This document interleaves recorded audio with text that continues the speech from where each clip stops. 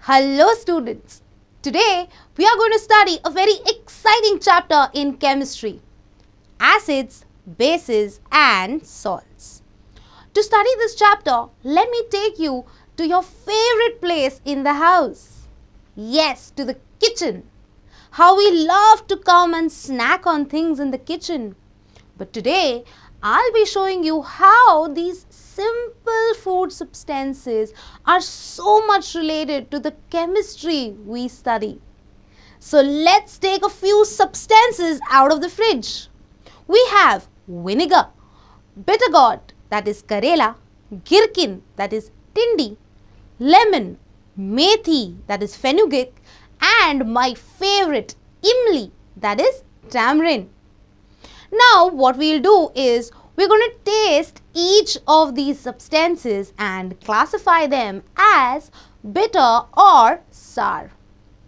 Vinegar is sour to taste. Karela is bitter. Gherkin is also bitter to taste. Lemon is again sour. Methi tastes bitter and imli is again sour to taste. Now you may think that why are some substances sour to taste and why the others are bitter? To answer this lies in the chemical composition of these substances. Lemon students have citric acid in it. Tamarind contains tartaric acid whereas vinegar has acetic acid. These acids give these ingredients a sour taste. So students, we can conclude that substances that have sour taste are acids whereas substances that have bitter taste are bases.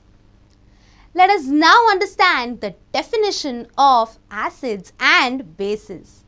The substances which are sour to taste have acidic ingredients and their solutions are acidic. Acids can also be defined as substances which contains hydrogen and when dissolved in water gives hydrogen ions or hydronium ions as the only positively charged ions. Let's try to understand this using an example. Let's take a molecule of hydrochloric acid. When we put a molecule of HCl in water, it splits up into H plus and Cl minus ions.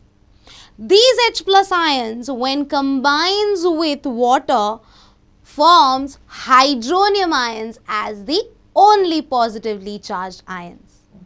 Let's try to understand bases. Bases are defined as substances that are bitter to taste. Bases can also be defined as substances which dissociate to give OH minus ions in water. Let's take for example sodium hydroxide. NaOH when added to water will dissociate into Na plus and OH minus. So this molecule will have a hydroxyl ion as the only negatively charged ion in water. So now students, can we determine whether a substance is acidic or basic simply by tasting each and every substance? No, definitely not. Why?